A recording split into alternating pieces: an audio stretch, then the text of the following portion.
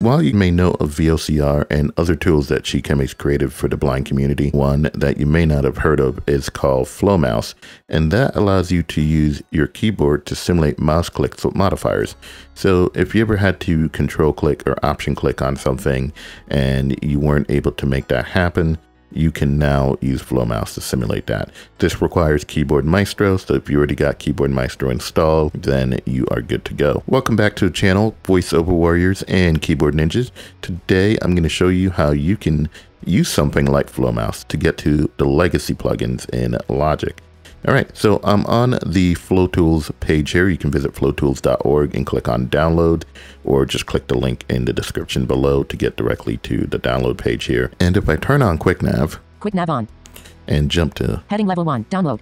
You see I'm on the download page. I'm just going to jump by links to find FlowMouse. Share on Twitter. Share on Face. Share on Google. Flo Tools. Flo Tools. V. Flo Tools. V. Flo Mouse V1.0.0 Alpha. Link. There we go. So I'm going to VO space Press on link. this. Flo Mouse V1.0.0 Alpha. Down. and that just downloaded. I just paused voiceover with control key there. All right. So another thing of note, if I hit the L to jump by link one more time, Flo Numpad V1.0.0 Alpha. Link. You got flo numpad as well, which simulates an extended keyboard. So that's also something else that might be worth checking out.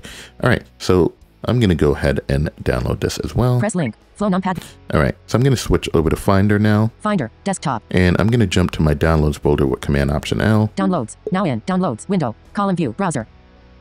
Column view. Browser. QuickNav on. and turn off quick nav there. Flo Mouse 1.0.0 Alpha. Folder. There we go, Flo Mouse. I'm going to go into that folder with the right arrow because I'm in columns view. Install Flo Mouse app. Group. And there we have the install Flo Mouse app command down arrow on that to run the installer. Open selection. Application. Alert. System dialog. Install Flo Mouse app is an app created by Safari. Are you sure you want to open it? Safari created help button. Cancel. But open. Default button. Go ahead and Please wait. hit open. Application. Alert. System. Keyboard Maestro is launched in the background. Help button. Don't allow button. OK button. OK. Don't allow. Help. Install Flo Mouse app wants access to control keyboard. Help. Don't allow. OK button. Don't allow Yes. button. OK button. OK. Pre- Allow Finder. that. Flo Mouse 1.0.0 Alpha. Window. Column view. Browser one item selected. Install Flo Mouse app. Group. One of two. Install Flo Mouse. Needs attention. Column view. Browser one item selected. Install And I'm Flow going to Mouse. switch over to Safari. Install Flo Mouse. Install Flo Mouse. Alert. Dialog. Installation is successfully completed. Installation is successfully completed. OK. Default button. Press Finder. All right, so that's it. We got that installed. I just, I just command tab back over to the installer and hit OK. So this is essentially a set of Keyboard Maestro macros, and that's essentially what the installer did was install the Keyboard Maestro macros. You may have heard it said there that it was launching Keyboard Maestro, and we had to give it permission to control Keyboard Maestro. All right, so now that we got that taken care of, let's go ahead and open up Logic and take a look at how we can use something like this to option click on an effect slot to bring up the legacy effects. So I'm here in Logic now and I'm in the mixer on a classic electric piano channel strip Classic electric piano. Partially hidden. and I'm going to interact with the channel In strip, classic elect. jump all the way to the top Setting button. with VO home and that's VO FN left arrow if you're on a laptop keyboard. And now I'm going to navigate over to where I can swap out the instrument on this track. Off. Off. MIDI plugin. MIDI plugin. MIDI plugin. MIDI plugin. MIDI plugin. MIDI plugin. MIDI plugin. MIDI plugin. E piano. Group. E piano, so I'm going to interact with E this. piano. Open. But list button. and go over to list. And here I am on the list button so I can swap out an instrument on a software instrument track in Logic. So to turn on Flo Mouse, you want to do command slash, so command key and slash, Mouse on. and you hear it say mouse on. So now the accent key is going to be a mouse click. So you want to hold down option accent to option click on this list button. So I'm going to do option accent. Option. Menu 35 items. Vintage electric piano. Submenu. No plugin. Recent. Dim. Sampler. Quick sampler. Bass slapper. Complete. Con- Grand Rhapsody. Alchemy. Sub- drum kit. Drum synth. E EFM1. ESE. ESM. ESP. ES1. ES2. EVA 20p. Quick sampler. Retro synth. Sampler. Sculpture. Studio horns. Studio string. Ultra beat. Vintage B3. Vintage clav. Hyphen. Vi- vintage mellotron. Utility. Legacy. Sub drum machine design. Legacy. Submenu. And we have this legacy category here that usually doesn't show up otherwise unless you option click on the list button. So now I just VO down arrow to legacy and let's see what's in here. Legacy. Submenu 25 items. Analog basic. Sub. Analog mono. Submenu. Analog pad. Submenu. Analog swirls. Analog sync. Sub bass. Submenu. Church organ. Sub digital basic. Digital mono. Digital stepper. Drum kits. Sub electric clap. Sub electric piano. Sub external instrument like guitar. Submenu. External instrument legacy. Sub guitar. Submenu. Horns. Sub hybrid basic. Hybrid morph. Piano. Sub sound effects. Strings. Sub tone organ. Tune percussion. Voice. Submenu. Woodwind. Submet. Woodwind. Submenu. Voice. Sub tune percussion. Wheel organ. Strings. Sub sound effects. Sub piano. sub menu, Piano. Stereo. And let's load up this piano. Press classic electric piano. Classic electric piano. Dialog. Classic electric piano. Toolbar button. Bypass. Check. Factory default. Pop up button. And here you see we got this piano from the legacy library pulled up. And if I pull up the musical typing keyboard with Command K, Musical typing. Classic electric piano. Dialog.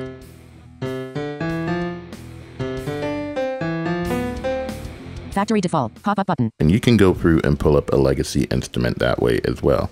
I'm going to close this with Command. W, DS. and I'm going to go over to an effects slot. Piano. Groove. Audio plugin. Button. And now I'm on an audio plugin slot. I'm going to do the same thing, Option click, Option. Menu 23 items check mark. No plugin. and let's jump to the bottom of the list this time with View and Audio units. Sub audio units. Submenu. and then View Up arrow. Legacy. Submenu. And now there we see the legacy category. So we can find old audio effects that you may have used in older versions of Logic. Case in point, Platinum Verb no longer shows up under the reverb. So it's going to be here in Legacy now. Legacy. Submenu 12 items A. Submenu. Bass amp. Submenu. DSR. Submenu. So you see you got the old bass amp, the old DSR now that we have DSR2. Denoiser. Submenu. EQ. Submenu. GoldVerb. Submenu. Groove Shifter. Submenu. Guitar amp pro. Submenu. the old amp sim before amp designer Platinum Verb. Submenu. and platinum verb there we go so let's load platinum verb so i'm gonna hit return on this Platinum Verb. Classic. Class toolbar. But bypass. Check. Check box. Factory default. Pop up button. and there you go. Pretty much standard plugin window. You can still get to all the parameters. So if you use some of these stuff in older versions of logic when you load the project they'll still come up.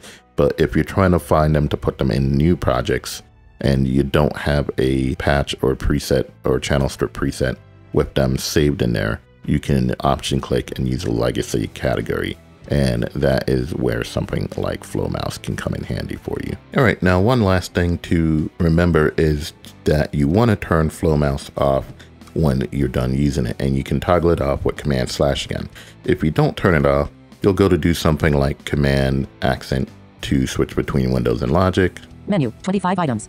and end up command clicking on something Closing menu. Factory default. Pop up button. so just remember when you're done to command Mouse off. Slash again to turn off flo mouse so that way when you do command accent Now in. DS. Tracks. Window. Tracks contents. Groove. You will switch between windows in logic or when you do option accent you'll expand or collapse track stacks as per usual. All right check out flo mouse link in the description below. That's it for this tutorial. Thank you so much for checking this out. If you'd like to support the channel you can do so by making a donation at paypal.me slash logic.band link in the description below. You can also get some one-on-one training if you want to dive deep in any of these topics surrounding logic or if you're new to mac and want to get up to speed with voiceover. You can visit logic.band slash training for some one-on-one tutoring. And once again there is a link to that in the description below. Also don't forget to check the description below for a link to relevant tutorials here on youtube and or to the blog on logic.band that has some supplemental information for this tutorial. Hope you found that useful and helpful. Please feel free to like and subscribe and share this with someone you know who's new to Logic and VoiceOver. As always, everyone, until next time, happy recording.